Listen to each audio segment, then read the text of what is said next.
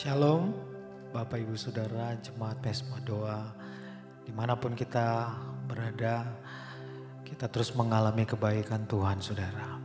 Dan saya percaya sepanjang hari ini kita mengalami terus pertolongan Tuhan, bahkan Tuhan bukan hanya menyertai kita, tetapi dia Allah yang terus menuntun kehidupan kita saudara sampai pada malam hari ini. Dan sebelum kita akan mendengarkan isi hati Tuhan, mari kita datang kepada Tuhan dengan ucapan syukur kita kepada Tuhan untuk penyertaan dan pembelaan Tuhan di sepanjang hari ini saudara.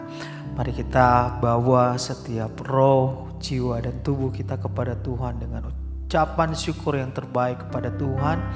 Dan saya percaya hadirat Tuhan lah yang akan memuaskan kehidupan kita saudara. Mari kita satu dalam doa. Kami bersyukur ya Tuhan pada malam hari ini kami ada semua karena anugerah-Mu ya Tuhan. Kami percaya ya Tuhan bukan kekuatan dan hebat kami kami boleh melewati hari ini tetapi semua sekali lagi dan kami mengakui semua karena penyertaan-Mu dalam kehidupan kami. Oleh sebab itu ya Tuhan pada malam hari ini kami membawa, kami menanggalkan setiap permasalahan kehidupan kami. Kami menanggalkan setiap apa pun yang menjadi beban hidup kami ya Tuhan.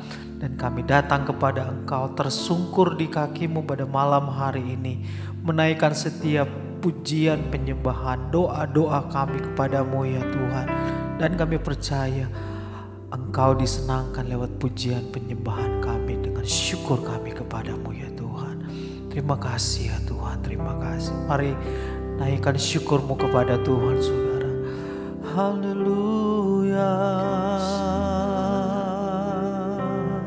Syukur, terima kasih. Terima Malam hari ini ya Tuhan kami datang kepada Engkau.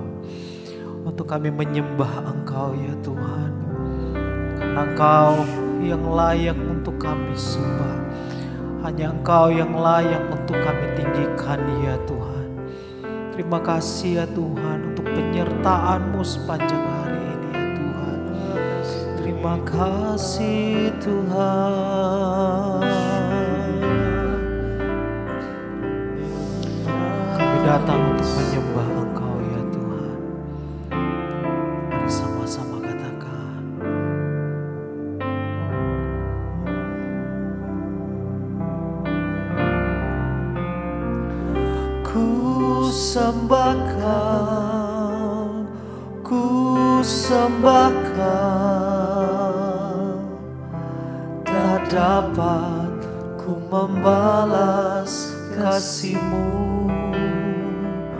Ku sembah kau, ku sembah kau Bapa.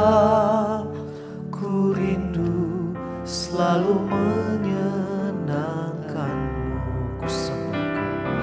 Ku sembah kau Ku sembah dapat kami membalas kasih ya Tuhan. Dalam hidup kami Karena kau baik, kau sangat baik dalam hidup kami.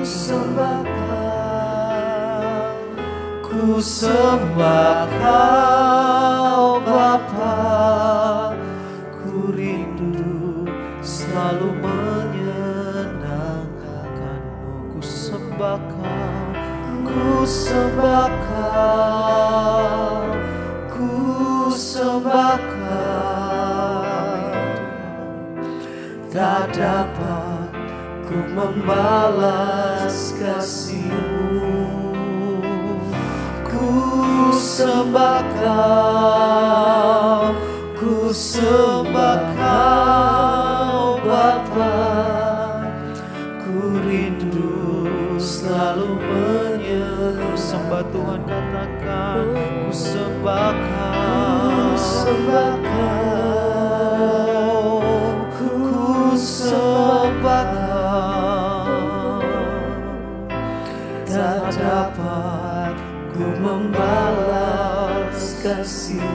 Benar ya Tuhan kebaikanmu Nyata dalam hidup kami ya Tuhan.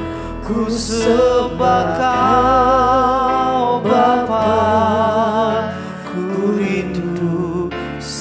Ini persembahan kami. Ini sembah kami ya Tuhan. Ku sembah kau Ku sembah Ku sembah Tuhan. Tak dapat Semua kebaikan menyertai hidup kami ya Tuhan. Ku sembah kau Ku sembah kau Bapa Ku rindu selalu menyenangkanmu.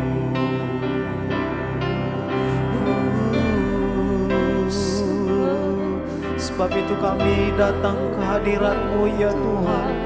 Untuk kami menyembahmu. Di dalam hadiratmu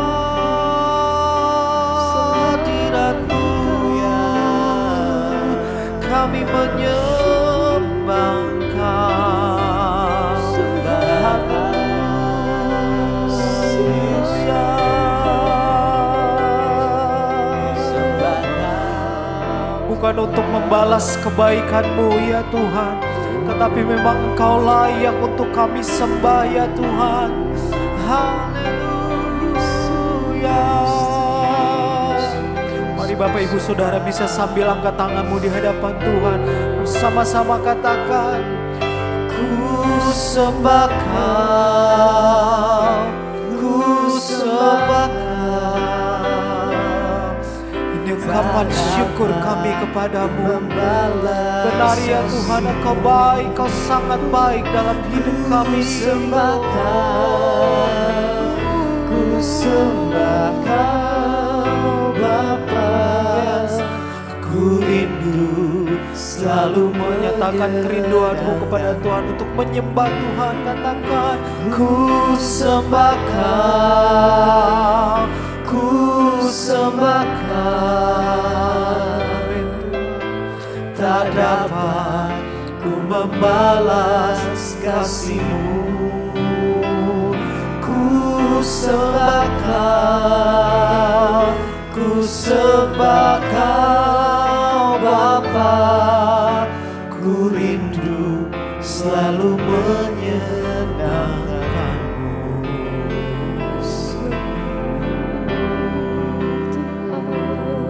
Sembah kau Tuhan. Dari segalanya Kau yang layak disembah. Yesus kau yang layak Ini penyembahan kami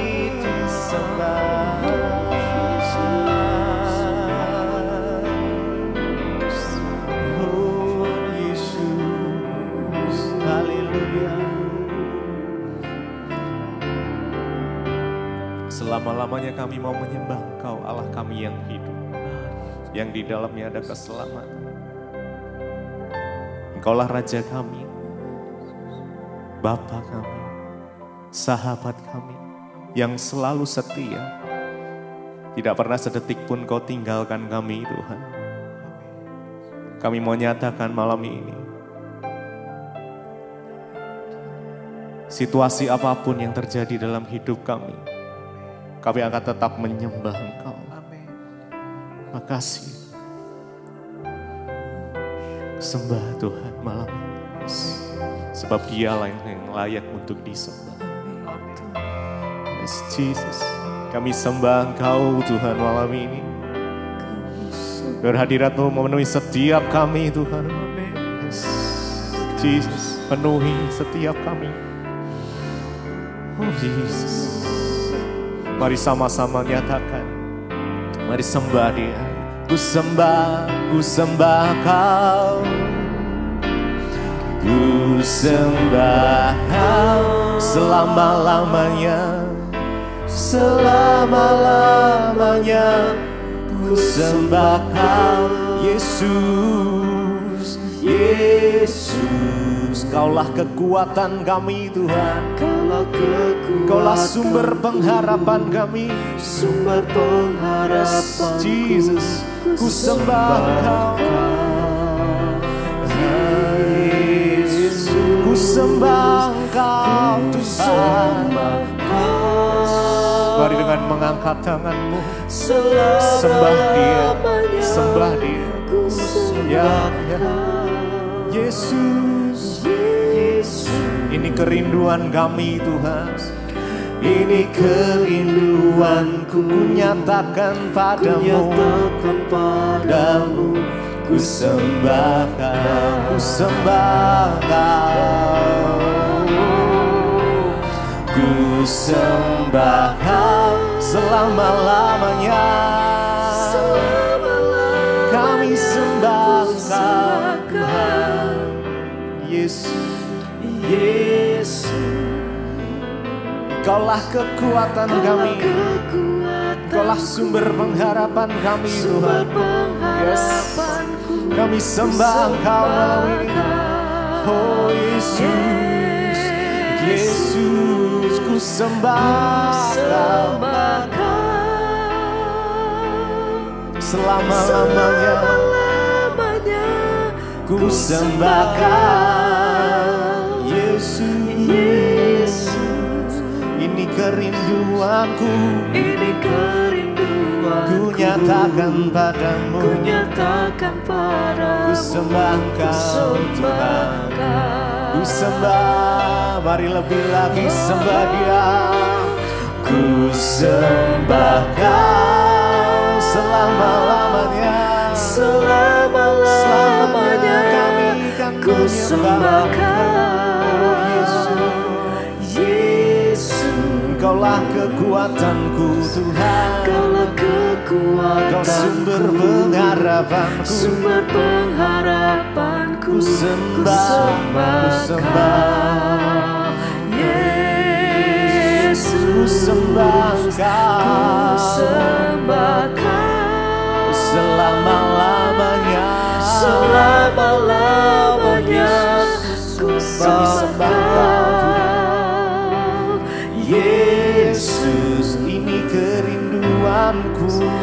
Ini kerinduan Nyatakan Ku padamu. nyatakan padamu Ku sembah Ku sembah Tuhan. Ku sembah, ku sembah. Ku sembah Kau Sembah dia, sembah dia. Mari dengan segenap hati kita, dengan segenap kekuatan kita. Oh Yesus, Yesus, kami datang menyembahmu ya Tuhan. Kaulah, Kaulah kekuatan kaulah kekuatan kami, sumber pengharapan. pengharapanku Ku sembah Kau. sembah Yes. Kau. Jesus, Yesus ku sembah Kau. Ku sembah Kau Amin, amin. Kami sembah Kau. Selama-lamanya ku sembah Kau, Yesus. Yesus kerinduanku, Ini kerinduanku ku nyatakan padamu. Nyatakan padamu Ku sembah. Mari sembah Dia, mari datang pada Tuhan. Mari hampiri. Kami sembah Engkau ya Tuhan. Oh, Engkau yang layak disembah. Kaulah sumber pengharapan kami, sumber kekuatan kami ya Tuhan. Yesus, terima kasih ya Tuhan. Oh Yesus,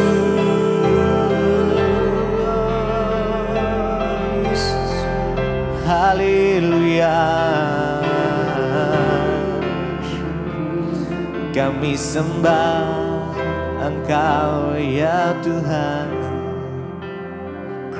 Sembah. Mari dengan segenap hati kita. Yes. Selama-lamanya Selamanya kami akan Ku menyembah Kau. Ku sembah kau, Yesus kaulah Kaulah kekuatan, kekuatanku kaulah sumber pengharapan. Sumber pengharapanku Ku sembah Ku sembah kau Yesus, Yesus ku Ku sembah sembah kau selamanya. Selama-lamanya Ku Sembah kau, Yesus. Yesus Ini kerinduan Ini kerinduanku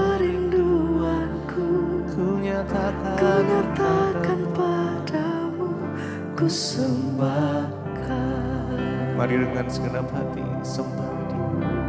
Ku sembah. Sembah kau Kami datang menyembahmu malam ini. Selama-lamanya Yes, yes, Jesus. Ku sembah kau Yesus, Yesus Engkaulah kekuatan, Kaulah kekuatanku sumber pengharapan. pengharapanku Sembah, Ku sembah sembah. Yesus, sembah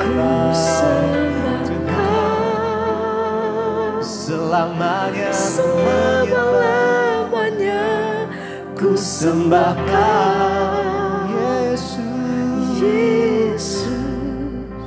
Ini kerinduan. Ini kerinduanku ku nyatakan, Ku padamu. nyatakan padamu Ku sembah Mari sekali lagi. Sekali lagi, sembah dia, sembah dia. Ku sembah kau Selama-lamanya, Selama-lamanya Ku sembah kau Yesus. Yesus Kaulah kekuatan kekuatanku. Sumber Sembah pengharapanku Ku sembah kau Yesus. Yesus Ku Sembah kau selama Selama-lamanya Ku sembah kau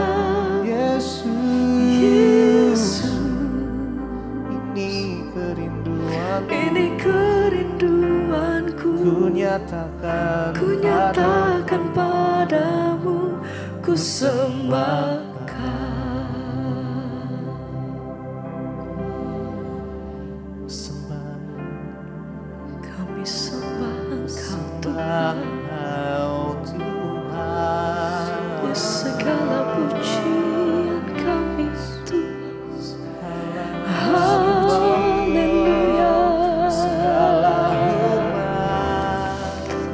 Segala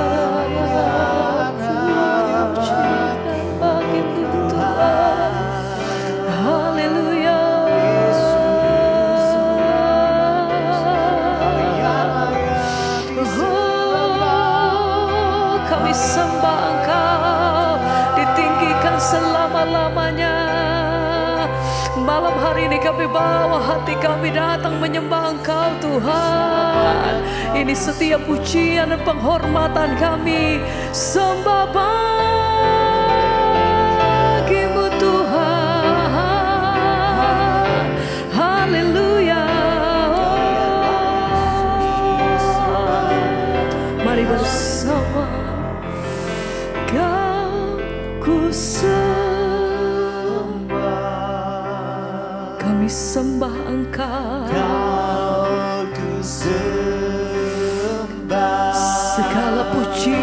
bagimu Kau Tuhan sembah. Ditinggikan selama-lamanya Allah yang kudus Allah yang hidup Tuhan. Kami sembah Kau ku sembah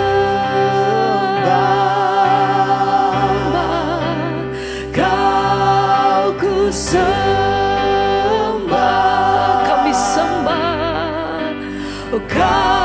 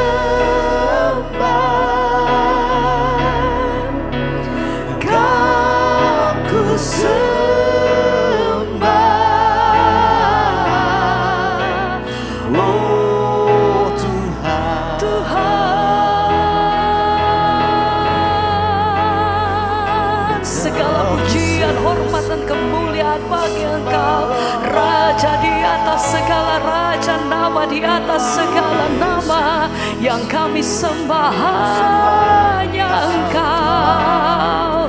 Kemuliaan hanya bagimu Tuhan. Kau sembah.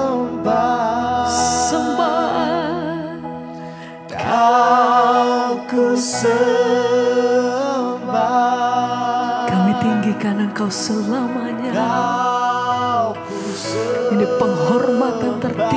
kami bagi engkau Tuhan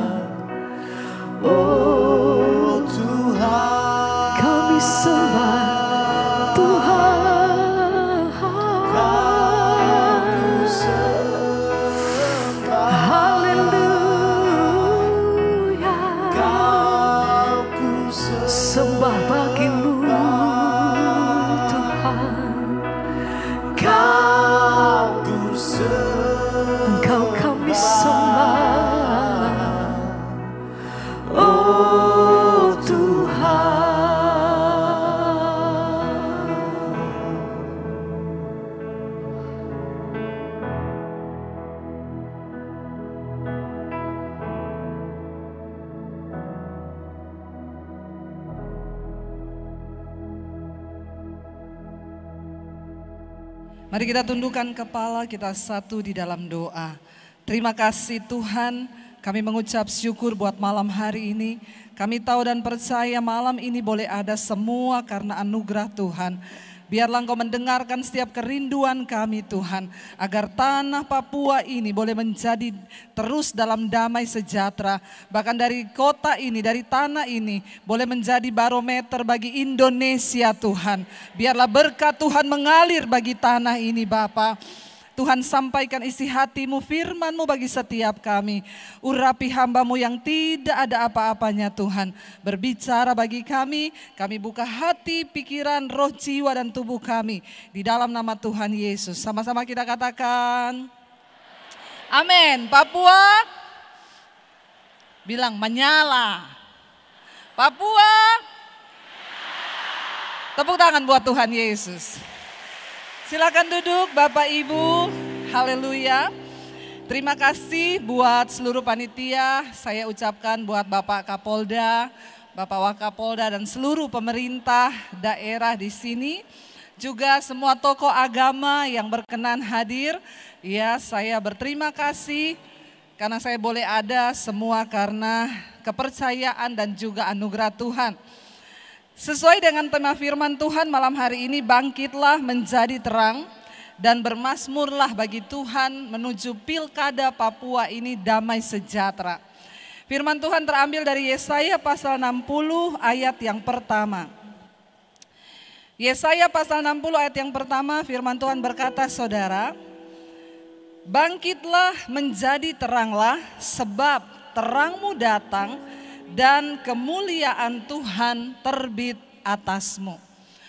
Ayat ini berkata bangkitlah menjadi teranglah sebab terangmu datang dan kemuliaan Tuhan terbit atasmu. Saudara, kenapa dikatakan ayat ini bangkitlah? Sebab manusia yang hidup di dalam kegelapan itu lumpuh. Saya beri contoh kalau tiba-tiba di ruangan ini mati lampu saudara maka saya percaya kita semua nggak bisa bergerak. Mungkin kita akan bergerak sambil meraba-raba karena tidak ada terang. Orang yang hidup di dalam kegelapan itu main tabrak sana, main tabrak sini. Orang yang hidup di dalam kegelapan, dia tidak bisa melakukan apa-apa. Keadaannya stuck, dia berhenti, dia lumpuh di situ sebab tidak ada terang. Ayat ini dengan jelas berkata, bangkitlah menjadi terang dan ya kita harus bermasmur bagi Tuhan. Bangkit menjadi terang sebab terangmu datang dan terang Tuhan, kemuliaan Tuhan terbit atasmu. Saudara saya percaya kita itu bisa mengalami kebangkitan dan hidup menjadi terang hanya kalau ketika kita mengalami perjumpaan dengan Tuhan, encounter with God. Ya, ada banyak orang mengaku Kristen, Katolik. Tapi juga banyak di antara mereka yang masih hidup di dalam kegelapan. Ayat ini berkata bangkit, Papua bangkit supaya hidup kita boleh menjadi berkat bagi banyak orang terutama bagi tanah kelahiran kita saudara. Ya, nggak menjadi jaminan kita ini disebut Kristen, Katolik kalau hidup kita tidak menjadi berkat. Ya, tidak ada terang Tuhan di dalam diri kita. Kita harus melihat dunia ini. Saya tadi malam di bandara di Jakarta, pesawat kami jam 00. Kami duduk di ruang di lounge saudara. Haleluya. Saudara ya kita duduk di lounge. Saya hanya duduk beberapa jam di situ. Saya mendengar berita. Pertama, seorang istri membunuh suaminya karena judi online. Kedua berita, ada seorang suami yang gantung diri di dapur Lalu dia tulis surat kepada istrinya, surat wasiat. Aku terlibat pinjaman online dan rumah ini sudah aku gadaikan di bank. Saya nonton berita itu, ada anak sekolah yang dianiaya dibunuh, mayatnya dibuang ke sungai. Ketika saya menonton itu saudara, saya melihat kenapa semua itu bisa terjadi. Dosa demi dosa, kejahatan demi kejahatan terjadi. Semua agama mengajarkan yang baik. Tapi kalau orang hanya sekedar beragama, tapi tidak bertemu Tuhan.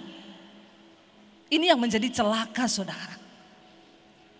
Ketika orang mengalami terang Tuhan, maka hidup kita pasti berubah.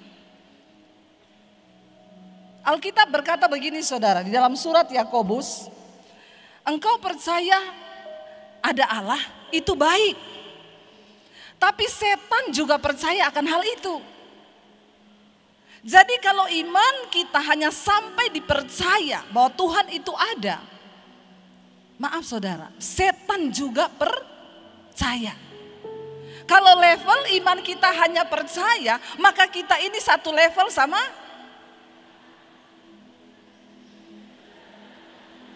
Jangan menertawakan diri sendiri.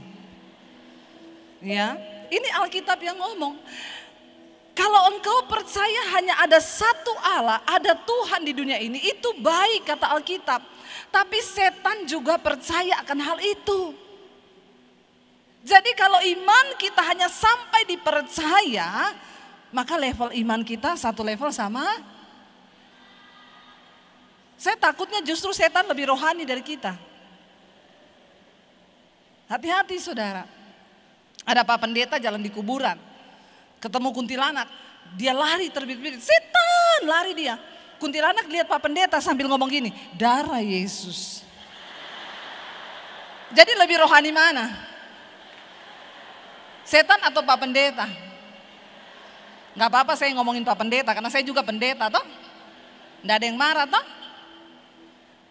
Jadi saudara, beriman menjadi terang, membawa damai, hidup berdampak itu tidak bisa dilihat dari status kita, keagamaan kita. Kita boleh punya titel yang berderet-deret. Kita boleh punya gelar, mau pendeta, mau majelis, mau romo. Tapi kalau engkau hidup di dalam kegelapan dan tidak ada terang Tuhan dalam dirimu, maka kau satu level sama Bukan saya yang ngomong, Alkitab yang ngomong. Ya.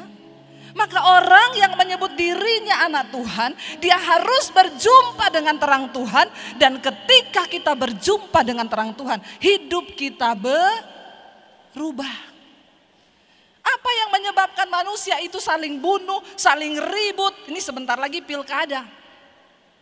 Tapi saya bersyukur ya saya mendengar dari panitia mereka berkata, pemerintah daerah di sini percaya bahwa kedamaian itu bisa terjadi hanya karena campur tangan Tuhan. Amin, saudara. Makanya diadakan acara-acara keagamaan memang benar itu paling tepat Pak. Saya berdoa semua pemimpin di Indonesia juga punya pikiran yang sama dengan Bapak. Ya, karena kalau kita hanya kasih tahu tanpa umat itu bertemu Tuhan, maka sia-sia. Enggak ada yang bisa merubah manusia. Semua agama mengajarkan yang baik.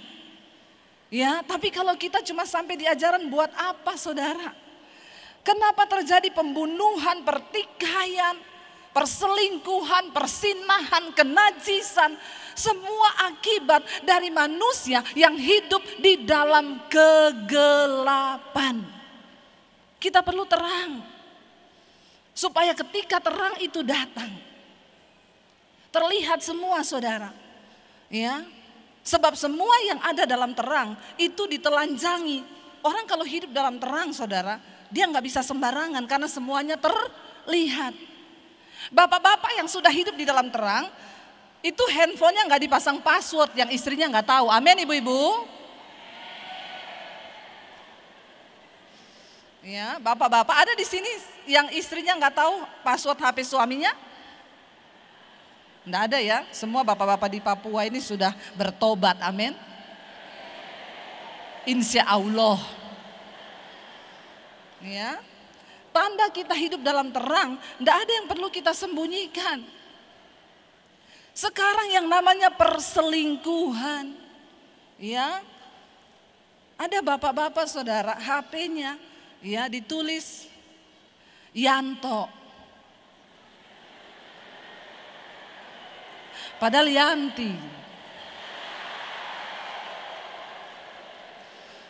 Ya. Malam-malam telepon berdering terus, istrinya lihat jam 10 malam kok telepon. Dilihat begini, tukang sedot WC. Istrinya tanya, Pak, kok malam-malam tukang sedot WC telepon kamu terus tuh kenapa? Ini gelap, ini gelap. Ya, saya mau bicara tentang damai. Kalau kita menginginkan damai di kota kita, di bangsa kita, semua dimulai dari diri kita. Pertama, di dalam keluarga kita dulu. Katakan, Jangan cuma amin-amin di sini, pulang bilang lakukan. Kadang orang Kristen tuh gitu di gereja, amin kenceng. Kalau di gereja nyanyi, kita buat iblis gemetar. Sampai di rumah iblis buat kita gemetar. Totofore iblis baking kok. Bertobat. Saudara, sebab ketika ada terang Tuhan dalam hidup kita, maka kita ini ya hidup di dalam kegelapan. Tapi saya pengen kita baca Yohanes pasal yang ketiga ayat 19 sampai 21. Yohanes 3 ayat 19 sampai 21 firman Tuhan berkata begini. Dan inilah hukuman itu terang telah datang ke dalam dunia tetapi manusia lebih menyukai kegelapan daripada terang sebab perbuatan-perbuatan mereka itu jahat. Barang siapa berbuat jahat, ia membenci terang dan tidak datang kepada terang itu. Sebab eh supaya perbuatan-perbuatannya yang jahat itu tidak nampak. Tetapi barang siapa melakukan yang benar, ia datang kepada terang supaya menjadi nyata bahwa perbuatan-perbuatannya dilakukan di dalam Allah. Terang itu sudah datang ke dalam dunia. Tapi manusia lebih mencintai kegelapan. Kenapa? Karena perbuatan-perbuatannya itu adalah jahat. Ya, Bagaimana kita bisa bersinar? Bagaimana kita bisa bangkit? Kalau tidak ada terang dalam hidup kita, Bapak-bapak, engkau bisa sukses di dalam karir, tapi kalau engkau gagal dalam hubunganmu dengan Tuhan, maaf, engkau sudah gagal sampai pada kekekalan. Kita berdoa supaya para pemimpin yang akan terpilih di pilkada benar-benar orang yang takut akan Tuhan. Karena pilkada dengan pilkabe itu beda tipis. Ya, kalau pilkada itu lupa jadi. Kalau pilkada jadi lupa. Tapi di sini tidak. Tepuk tangan dong buat Tuhan. Kita berdoa ya supaya para pemimpin daerah yang akan dipilih benar-benar orang yang mengabdikan dirinya kepada Tuhan. Sehingga dia melakukan semuanya untuk manusia seolah-olah untuk Tuhan. Saudara, mari kita mulai belajar dari diri kita sendiri dulu. Jangan membenci terang. Satu saat kita semua ini akan mati. Saya satu saat pelayanan di satu daerah saudara. Lalu ada pejabat datang menemui saya di ruang, di salah satu ruangan. Dia datang, dia bilang begini sama saya, Bu Pendeta, saya minta didoakan. Kenapa Pak? Saya ini semua dosa saya sudah bisa hindari. Saya sekarang sudah tidak merokok, saya sudah tidak minum, saya sudah tidak judi. Tapi yang satu ini tidak bisa Bu Pendeta. Apa? Kelemahan saya itu di perempuan. Saya bilang itu bukan kelemahan Pak berarti kelebihan. Kalau kelebih, kelemahan itu udah nggak bisa apa-apa. Kalau kelebihan itu ya sukanya yang lebih-lebih. Terus kenapa Pak? Saya ini setiap kali tugas ke Jakarta Ibu Pendeta, kan istri saya tidak ikut. Terus ini pesawat baru mau landing ini, baru diumumin, sebentar lagi kita akan segera mendarat di Bandara Soekarno-Hatta. Saya ini sudah kepengen hidupin HP, sudah pengen suruh perempuan datang ke hotel. Kenapa begitu Ibu Pendeta ya? Saya sudah didoakan sama beberapa pendeta Ibu. Lah terus Bapak nemuin saya kenapa? Saya mau minta didoakan. Saya bilang Pak biar saya tumpang kaki sama Bapak. Jangan kan tumpang tangan, tumpang kaki Pak. Kalau kau tidak mau bertobat tidak bisa. Saya nggak mau berdoa buat Bapak. Karena sudah banyak pendeta yang berdoa buat Bapak. Oke kalau begitu Ibu, Ibu kasih saya pesan. Satu saja supaya saya bisa ingat-ingat. Saya bilang begini Pak. Kalau kau mau berbuat dosa, kau itu kan pejabat loh. Kau pejabat. Kalau kau mau berbuat dosa, ingat pesan saya Pak. Kau lagi selingkuh sama perempuan di hotel, tiba-tiba malaikat datang, urat jantungmu satu digunting. Terus kau mati serangan jantung di kamar hotel, terus nanti namamu keluar di surat kabar. Jadi Bapak pilih masuk neraka, masuk sorga atau masuk koran. Lalu dia bilang gini, aduh ibu pendeta jangan ngomong begitu. Saya bilang, abis saya mau ngomong apa sama Bapak? Bolak-balik semua pendeta udah doain Bapak. Kalau orang suka tinggal dalam kegelapan, dia akan membenci terang. Ya, sebab dia lebih suka melakukan dosa. Saya berdoa Papua, kita ini saudara harus sungguh-sungguh percaya kepada Tuhan. Hidup di dalam terang Tuhan. Karena kita ini satu saat semua akan mati dan akan berhadapan dengan tahta pengadilan Allah. Katakan, amin. Mau siapa pun kita. Mau saudara sebagai masyarakat, mau bapak-bapak sebagai pejabat, mau saya sebagai pendeta, mau pastor sebagai pemimpin agama Katolik, kita semua semua akan berdiri di hadapan tahta pengadilan Tuhan. Di mana kita di sana harus memberikan pertanggungan jawab atas seluruh hidup kita, Saudara. Mari kita berdoa. Bagaimana supaya Papua ini damai? Dosa itu adalah penghancur hidup manusia. Saya baca berita, nonton di TV di Jakarta. Istri, suami bunuh istri, lalu dagingnya dijual di pinggir jalan ke tetangga-tetangga. Daging istrinya, saudara, ini terjadi bukan di luar negeri loh, di Indonesia. Kita harusnya menangis melihat kejahatan yang begitu rupa di atas bangsa kita. Pemimpin agama harus mengajak umatnya untuk bertemu dengan Tuhan, encounter with God. Karena hanya ketika manusia berjumpa dengan Tuhan, maka perubahan itu bisa terjadi. Waktu ada pertobatan, maka Tuhan meluputkan tanah kita dari bencana. Tuhan meluputkan tanah kita, rakyat kita dari semua hal-hal penghukuman dan murka Allah. Dan apa yang menyenangkan hati Tuhan? Bukan uang kita saudara. Tetapi pertobatan kita. Waktu kita menangis di kaki Tuhan. Memohon pengampunan bagi bangsa ini. Membawa hidup kita di dalam kebenaran dan terang Tuhan. Maka hati Tuhan itu akan luluh. Dan dia akan mengasihi tanah kita. Ingat Bapak Ibu. Saat kita berada di dalam terang. Kita baru mengerti tentang kebenaran bahwa ternyata membunuh sesama manusia itu jahat dan keji di mata Tuhan. Sebab Alkitab berkata, peperangan kita bukan melawan darah dan daging. Musuh kita bukan sesama kita manusia, tapi musuh kita adalah iblis, roh jahat yang ada di udara, bukan sesamamu manusia. Katakan, jangan benci sesamamu manusia. Karena waktu kau benci orang lain, setan sudah berhasil menghasut hidupmu. Jangan benci istrimu, jangan benci suamimu, jangan benci anakmu, tapi bencilah roh jahat yang ada di dalam dia. Dan kau harus berdoa buat dia. Makanya Yesus mengajarkan jangan kalah dengan kejahatan, tapi kalahkan kejahatan dengan kebaikan.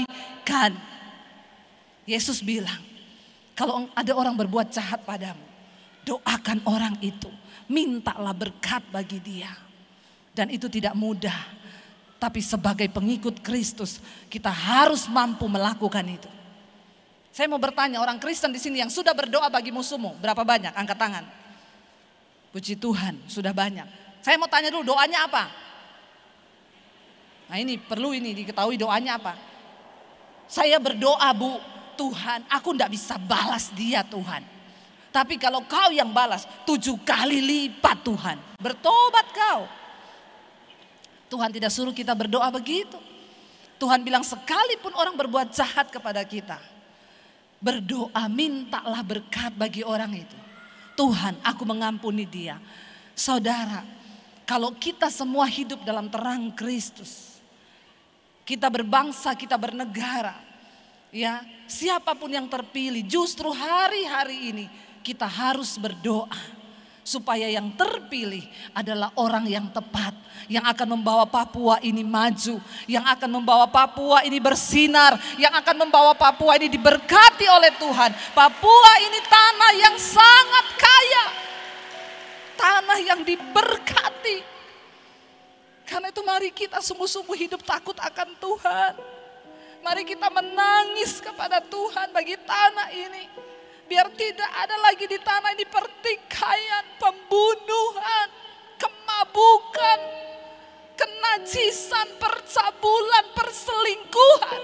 Sebab semua hal itu adalah perbuatan kegelapan yang akan dapat membawa murka Tuhan turun atas tanah kita. Saudara, kita berdoa supaya sungguh-sungguh tanah ini diberkati. Kekayaan alam yang begitu luar biasa. Saya setiap kali berdoa buat Papua, saya nangis di hadapan Tuhan. Saya mengasihi saudara-saudara saya yang ada di Papua. Saya selalu berdoa, Tuhan ampuni Tuhan, ampuni semua umatmu yang ada di tanah Papua dengan segala dosa-dosa dan kegelapan yang masih mereka hidupi. Ampuni Tuhan kalau anak-anakmu membenci terangmu dan tidak mau datang kepada terang itu.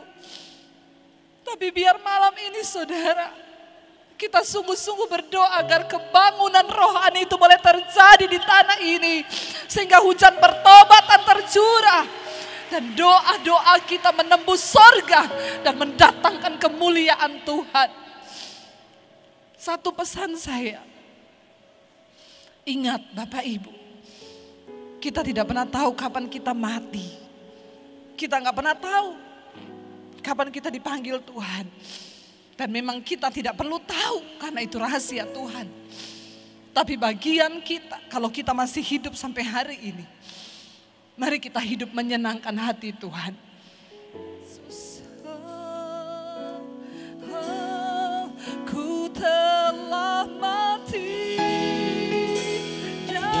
Tinggalkan ini. Mari kita tutup mata dalam hadirat Tuhan. Kami bawa hidup kami Tuhan. Kami bersyafaat bagi tanah Papua ini Tuhan. Kami tahu Tuhan sudah memberkati tanah kami dengan kekayaan alam yang begitu luar biasa. Kalau masih ada kutuk di atas tanah ini Tuhan akibat dosa dan pemberontakan kami. Kami berdiri malam hari ini di hadapan Tuhan. Ampuni Tuhan, ampuni. Kalau kami anak-anakmu menyakiti hatimu di tanah ini dengan dosa percabulan, kenajisan, kemabukan, kebencian, pembunuhan. Ada pertumpahan darah, kami tahu Tuhan membenci semua hal-hal kegelapan itu. Kami sama-sama menaikkan doa malam hari ini dari tempat ini Tuhan. Kami tahu Engkau Tuhan yang melihat dan mendengar air mata kami. Biar hujan pertobatan tercurah atas tanah ini Tuhan. Ampuni tanah kami Tuhan,